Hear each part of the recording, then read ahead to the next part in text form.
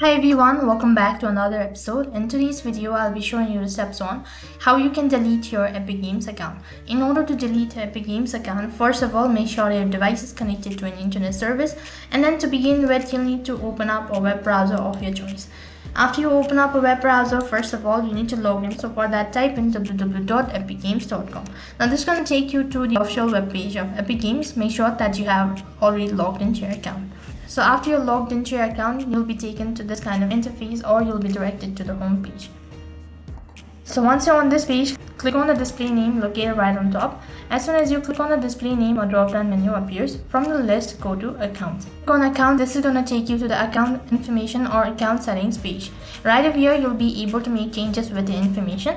But if you want to delete your account, scroll down right at the bottom and right at the bottom, you'll be able to find an article as delete your account.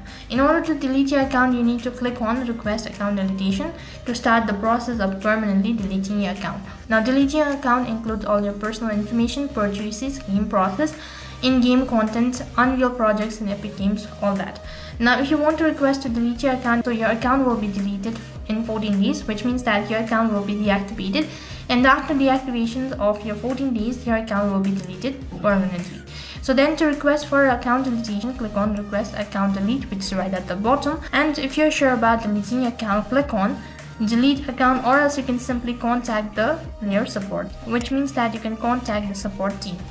So I'm gonna go with the delete account button since I want to delete my account. In order to confirm your deletion, you'll need to enter in the code that will be sent to an email. So now open up your email and then check for verification other question.